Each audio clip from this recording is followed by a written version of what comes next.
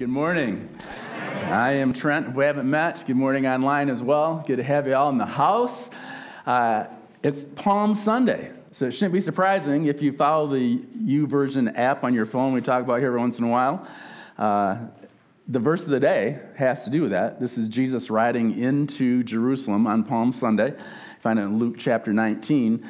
People laid down the palm branches and said, Blessings on the King who comes in the name of the Lord dozens, hundreds of people believed that Jesus was exactly who he said he was. And we know there's a trial coming up at the end of the week, uh, pretty fixed, uh, actual crucifixion, a death.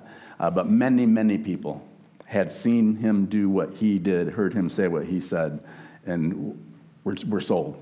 And they said, Blessings on the King who comes in the name of the Lord, peace in heaven and glory in the highest heaven. Almost exactly what the angel said about 33 years before when he was born. So we certainly celebrate that day as we enter this week we call Holy Week. And as Chase said, the second week, he started this last week, taking a look at the words that Jesus said on the cross. Uh, today's, I'm going to throw it out right from the top so you get it in your brain, uh, and then I'll give you the context. Uh, Jesus replied, we got to find out who he replied to, but we'll get to that. I assure you, today you will be with me in paradise. Uh, 7% of you remember that four hours later this afternoon from me reading it. Uh, stats say over 30% of you will, believe, will actually remember it if you say it out loud. So read this with me. Here we go. And Jesus replied, I assure you, today you will be with me in paradise. So maybe set the context of this first uh, where it fits in the story, even before we look at the story itself and see who said this or who it was said to. To that would simply go back to last week, because this story we're going to look at in Luke chapter 23 comes right after the words Chase used last week. So those, just before it, in, in Luke 23 said this Two others, both criminals, were led out to be executed with him. When they came to a place called the skull, they nailed him to the cross, and the criminals were also crucified, one on his right and one on his left. And then the words from last week Jesus said, Father, forgive them, so they don't know what they're doing. And the soldiers gambled for his clothes by throwing dice, nearly oblivious to what was going on.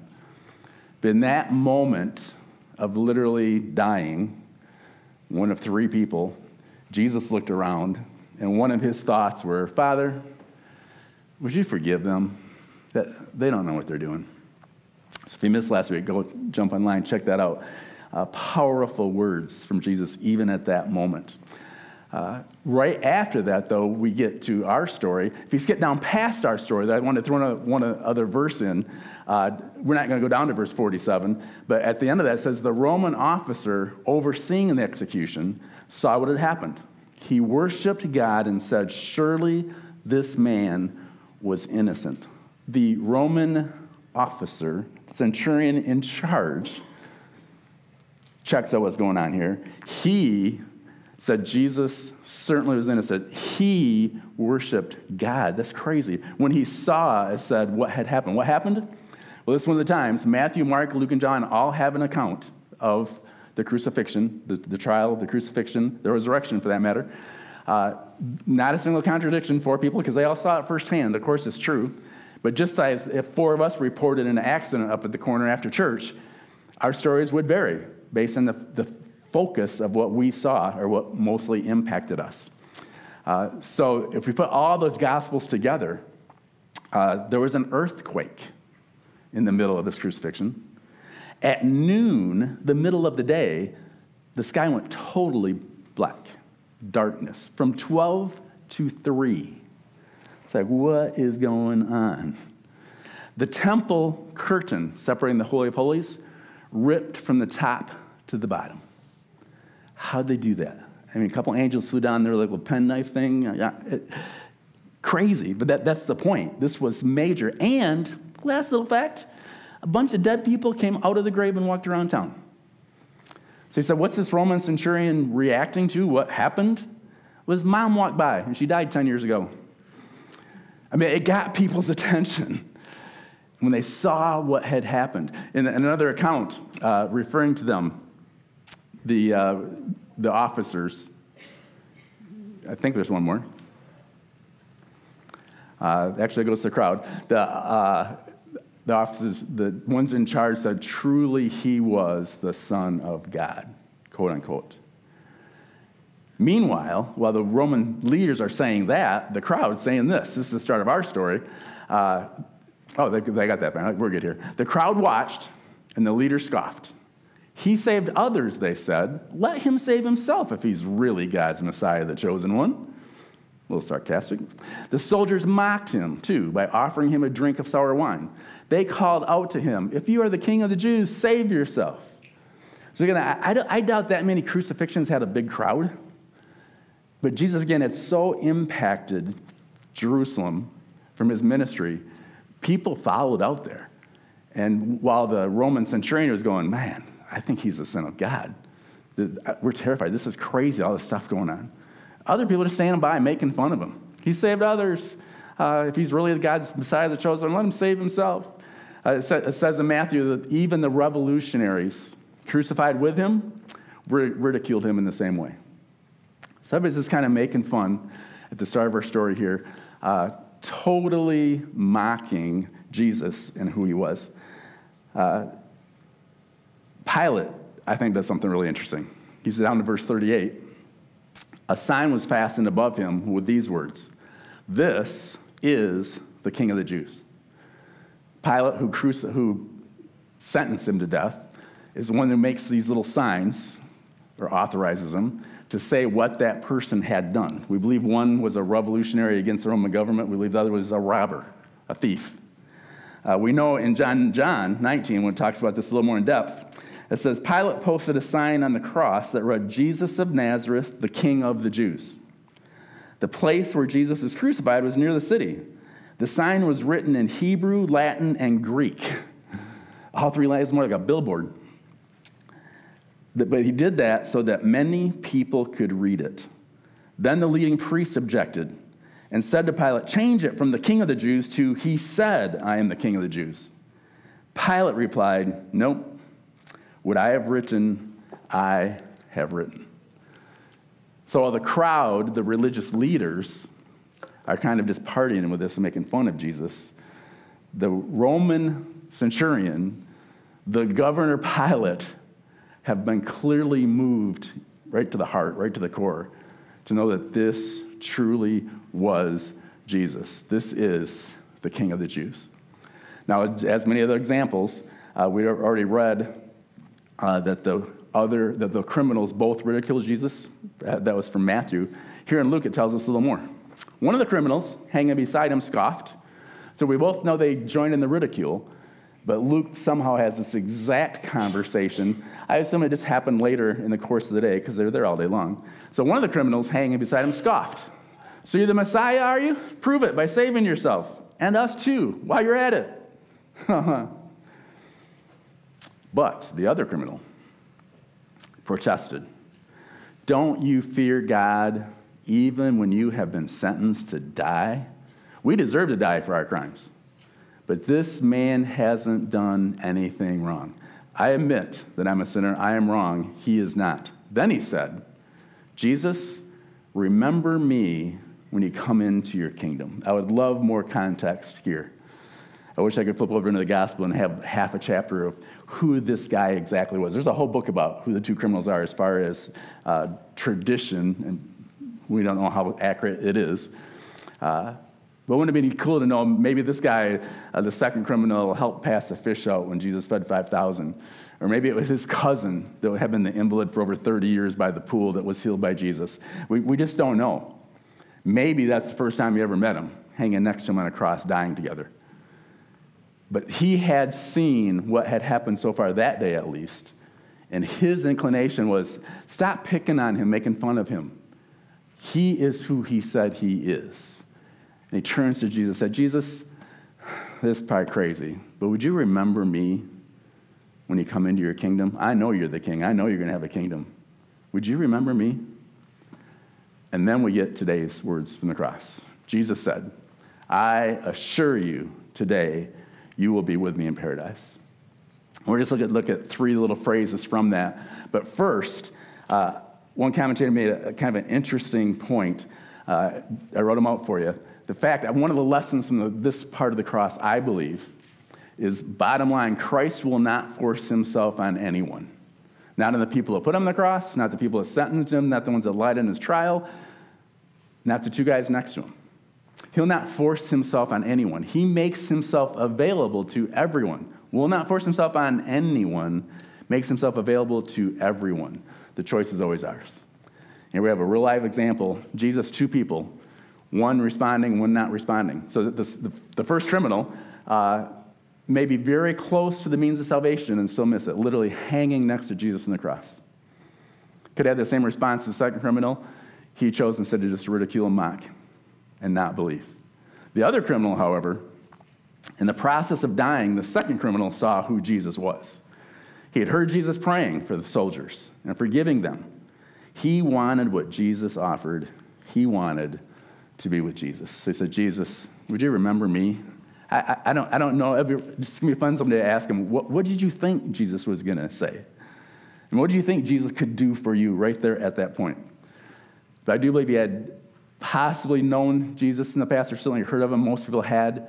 He had seen Jesus respond to the people crucifying him, at those words last week, asking for their forgiveness even before they asked it.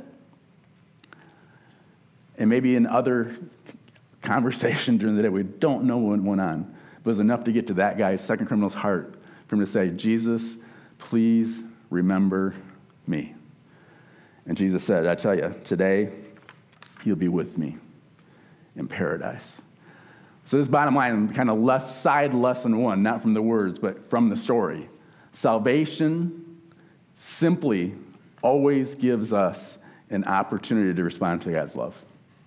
Uh, my favorite, one of my favorite verses I use here often, 1 Peter 3.15. Christ suffered for our sins once for all time. That phrase is in the Hebrews. We did that last year in a series. Time and time again, especially chapter 7, 8, 9, 10. Once for all time, once for all time, once for all time for all the sins of all the people if we simply seek his forgiveness. He died once for all time. He never sinned, but he died for sinners to bring you safely home to God. Just I love that phrase, safely home to God. You think of the story of the prodigal son, if you ever read that in a while. The, the prodigal son running off doing whatever he wants. But when he came home, he was warmly received by the Father. And we we are designed for a relationship with Jesus. That's what God created us for. You say, why, why doesn't everybody have one? Well, we resist it. We know that. The Bible calls that sin. And we resist it, keep God at arm's length, kind of live our own life, do our own thing. And it, simply by doing our own thing, we're not always doing God's thing. It's called sin. But God openly restored that to everyone that would respond by sending Jesus to this weekend that we celebrate coming up Easter who did die to pay the penalty for my sin. And all we do is respond to what God did and say, I choose to follow Jesus. Please forgive me. And we remain in a relationship with Him here on earth with direction for our day by day day from this, His Word, but also literally forever. So we have that opportunity to have that relationship. But back to the cross, second criminal. Uh, Jesus says, I assure you, today you will be with me in paradise. Let's, let's think for a second. I assure you. This, this kind of struck me because I don't think we're sure of a whole lot of things in our culture today. There's a lot of unknowns, there's a lot of uncertainty, there's certainly some anxiety slash fear. What are you really sure of? And in this terrible moment, this criminal's dying a criminal's death on a cross at that moment, this conversation happens. And Jesus said, I assure you. Some of you think the, the background is falling down. Uh, it's actually a sermon illustration. Because sometimes you're headed in a direction and you get off track. And you find yourself where you're not sure how you got there. Now, this criminal says, Hey, I, we deserve this. I know how I got here. But we get in really tough places, really hopeless places. And maybe it feels like you're off track. But Jesus says, that might look like that to you, feel like that to you. I assure you. The other, the other 37 arrows, I didn't count, are still all pointing in the right direction. I assure you, I can get you back on track. Uh, we did a series in Colossians. So the verse I pulled from that. Uh, I think kind of the coolest verse about this assurance of where we're headed is Colossians 3 1 and 2. Since you've been raised to new life with Christ, set your sights on the realities of heaven. That, that's where I, I preached this passage. We just lived in that realities. Scripture says there is a heaven. It's not some myth thing. It's you know up there in the clouds with the harp playing with the angels. Not heaven. It's real. So set your sights on the realities of heaven, where Christ sits in the place of honor at God's right hand. Think about the things of heaven, not the things of earth. Because it's real, we should be thinking about it. The illustration I used is planning a vacation. How many of you have a vacation planned sometime coming up this year? All right, some of you guys need to get out more. Need a break. but when we, when we set a vacation, we think, first, it's real. You have reservations, you have money down, you have the VRBO booked or whatever. But you think about it. You post it on Facebook, like that's important. Like people want to know where you're going. Just makes them jealous. Stop doing that. No, just kidding. Post what I want. But when you do that, what do they do? Go, oh, you're going to Daytona Beach? Eat at Hog Heaven. Or they say, you're going to Daytona Beach? Don't eat at, I won't tell you. Uh, you said, do this, do this, rent this, see this. People are all, all full of suggestions for you to think about. I Google almost every time I go to a new place. Top 25 things to do in Phoenix. And it always tells you some really bizarre stuff you would have never heard about otherwise. You go check it out, it's fun.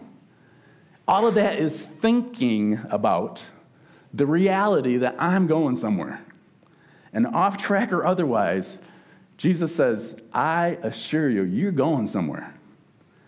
I promise this is going to happen. So, so fix your idea, your concept of where you're headed as someone that's going to end up in heaven. Uh, Max Lucado's next to latest book is Begin Again. Perfect title for a thief hanging on a cross whose life is over and it looks really, really like a bad ending. but Jesus says, I assure you, you can begin again. And a couple of his opening statements say this in the intro God is a God of fresh starts. Isn't that cool? He's the author of the new chapter, the architect of the new design, the voice behind the new song. That's way too many analogies, but he's new, okay? you get that point? Your current circumstances will not get the final say in your life. Man, if anybody could say that, the criminal on the cross can say that and he's dying, he, he's been crucified. But your, fi- your current circumstances, however off track they might be, will not get the final say in your life. So Max Lucado goes into a little story. He says, Picture yourself finally taking that dream vacation, talking about vacations, an African safari. You know, a small group of people being led by a professional through the densest parts of the jungle to see the most exotic things that exist in the world. Uh, you hand your backpack to one of the guys in front of you in line. You're kind of in the back of the line because your boot came untied. Got kind of knotted up, got some stuff messed up in it. Just kind of fight it for a minute. You kind of focus on it. Hold it. You finally get the, the laces straight, get them relaced. The, the one hook thing's kind of flat. So it's a fight. finally get your boot laced back up. You stand up and realize they left you. You listen really carefully, but there's all the noises in the jungle, and you have no idea which way they went. You kind of try to check the ground, but this is truly, they're like hacking through stuff. So you take a guess and you go the wrong way. You're lost. Feel that a little bit? And he goes, uh, You were not made for this place. if you're in the middle of the city, you pull out your phone, GPS and figure it out. You're not made for the jungle. You're not equipped for this. The guide has all the important stuff. As a matter of fact, the guy you handed your backpack even has your backpack. You're trapped. How do you feel? Fear, anxiety, anger? Probably, especially hopelessness. He talks a little bit about that, but then he asks, So, what do you really need right now? He said three things. First, to be a person. you need someone who knows the way out. Duh. He gets paid to write a book just for that. You need some vision. You feel hopeless. You feel lost. You feel done. You feel off track with no idea where to go. But you can begin again. You need someone that simply knows where you're headed. You need vision. And lastly, you need direction, how to get there, obviously. Uh, so all of a sudden, they've come back and looking for you, they find you. And I love his conclusion to his little example. He says, now, they, now they're there. The jungle is still a jungle. The 29 foot anaconda is still 29 feet long. Nothing has changed. You have changed. I'm sorry, the jungle hasn't changed, but you have. You have changed because your hope has been restored. And you have hope because you have met someone who can lead you out. Isn't that awesome? Criminal is lost. We are lost. But Jesus says, I assure you. I assure you. Whatever your, your arrow looks like, or maybe you have 27 arrows pointing all different directions today in your life, it feels like. Would you just stop for a second? Take a deep breath out, feel the anxiety a little bit of what you're facing this week or today. And hear Jesus say, I assure you. I am here. Jesus turned to the criminal and said, I assure you, today you will be with me. A criminal with Jesus. That, does that blow anybody's mind? I assure you, today you will be with me. He had talked to the disciples just earlier. Uh, John 14, John 13, 14, 15, 16. I often say four of my favorite chapters in the Bible is Jesus and just the disciples in the upper room right before he goes to the garden to pray, right before he's arrested, right before he's crucified. So, some of the juiciest statements, amazing statements in Scripture. And he says at the beginning of John 14, Don't let your hearts be troubled. Seriously, you just told us you're leaving. but Jesus said, Don't let your hearts be troubled. Trust in God, trust also in me, for there is more than enough room in my Father's house. If this weren't so, would I have told you that I'm going to prepare a place for you? So I'm messing around with you. so I have a place. When you, everything is ready, I will come and get you so that where that you will always be with me where I am. He told the same thing to the disciples. He's telling the criminal, You will be where I am. You will be with me. I assure you, you will be there. This is before the crucifixion. After, about 40 days later, right before the ascension, Jesus says the same thing. Matthew 28 20, the last verse in Matthew. He says, I will be with you always, even to the end of the age. No matter what your age looks like and where you're headed, I will be with you. You can't say it much stronger. Uh, but I think for just my thought on this today, I think a lot of different ways with that. But we talk a lot about spending time with Jesus here. We do think it's important.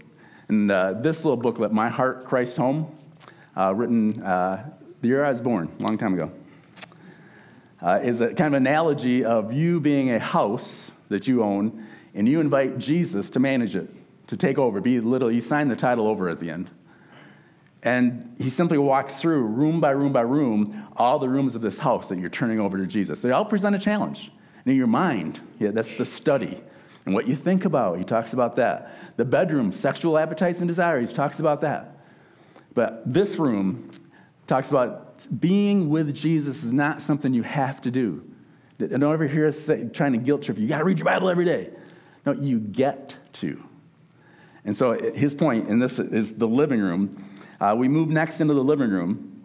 This is a quiet, comfortable room with a warm atmosphere. I liked it. It had a fireplace, sofa, overstuffed chairs, a bookcase, and an intimate atmosphere. Jesus seemed pleased with it too. He said, This is a delightful room. Let's come here every day. It's secluded and quiet. We can have good talks and fellowship together. So, naturally, as a young Christian, I was thrilled. I couldn't think of anything I'd rather do than spend a few minutes alone with Jesus every day. So, of course, if you read the whole thing, he does that. They have great times. Jesus takes a book of the Bible off the shelf, he says, and reads it. They learn together, they grow together. Uh, but then, as a college student, he just kind of gets busy. And suddenly he starts leaving their time early to get to some appointment. Matter of fact, he starts missing entire days. And after he gets to the point, he rarely has spent a minute with Jesus. We've been there in our quiet times. One morning, I recall rushing down the steps in a hurry to be on my way to an important appointment. As I passed the living room, the door was open. Glancing in, I saw a fire in the fireplace, and Jesus was sitting there. Suddenly, in dismay, it came to me He's my guest. I invited him into my heart. Yet here I am neglecting him. So I stopped, turned, and hesitantly went in. I said, Master, I'm sorry. Have you been here every morning? Yes, he said, I told you I would be here to meet with you. The trouble is, you've been thinking of quiet time, of Bible study and prayer, as a means for your own spiritual growth. That's true, but you've forgotten that this time means something to me also that this is a book, not scripture. But I don't think anything can be more true. Because Jesus says, I will be with you. At a great cost, I have redeemed you. I value your fellowship. Just to have you look up into my face warms my heart. Ever think of that? Don't neglect this hour, if only for my sake. Whether or not you want to be with me, remember, I want to be with you. I really love you. I assure you, today you will be with me. And you probably aren't checking out in the next couple hours like the criminal on the cross. You probably have some days and years ahead. But while that journey continues, will you choose, for Christ's sake, because he desires it, will you choose daily to be with him? Jesus said to the thief, I assure you, today you will be with me in paradise.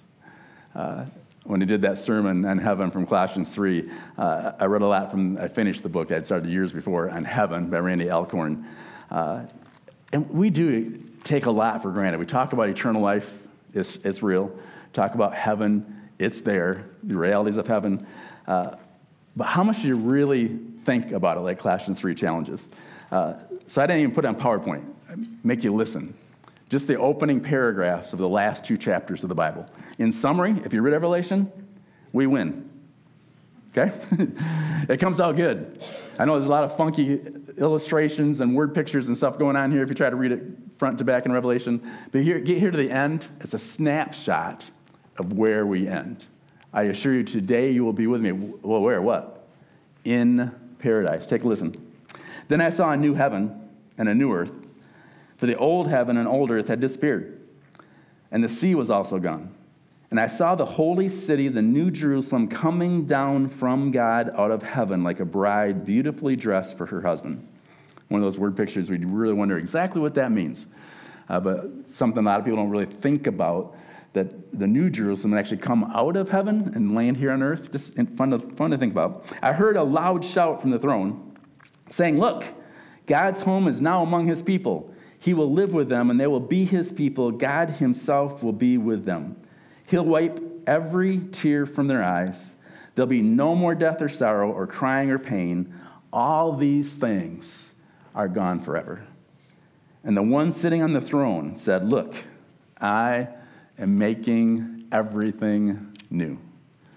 And to the last chapter, chapter 22, the angel showed me a river with the water of life clear as crystal, flowing from the throne of God and of the Lamb. It flowed down the center of the main street.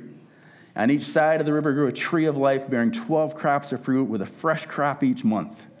The leaves were used for medicine to heal the nations. I just love some of the details. No longer will there be a curse upon anything, for the throne of God and the Lamb, Father and Son, will be there, and his servants will worship him. And they will see his face, and his name will be written on their foreheads. There will be no night there, no need for lamps or sun, for the Lord God will shine on them, and they will reign forever and ever. Then the angel said to me, Everything you have heard and seen is trustworthy and true. I assure you. so if you choose to follow Jesus, if you have chosen, if you're thinking about choosing, week at Easter would be a great time to make that decision. Talk to a friend you trust. If you're in that camp, call one of the pastors. If you choose to follow Jesus, I literally think the promise of I assure you, as you follow me, I assure you today, you will be with me. And paradise is going to be awesome. So set your sights there. Live like that is true, because everything indeed is. Let's pray. Father, we thank you for your word.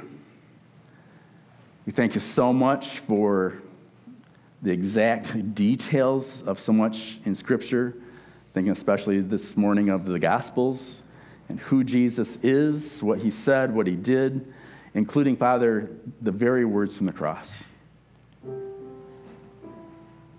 And we don't have time to cover all of them in this little mini series. But the amazing reality of no matter who we are, where we are, what we have done, your grace makes it possible for us to turn to Jesus and say, uh, Remember me, Jesus. I want into.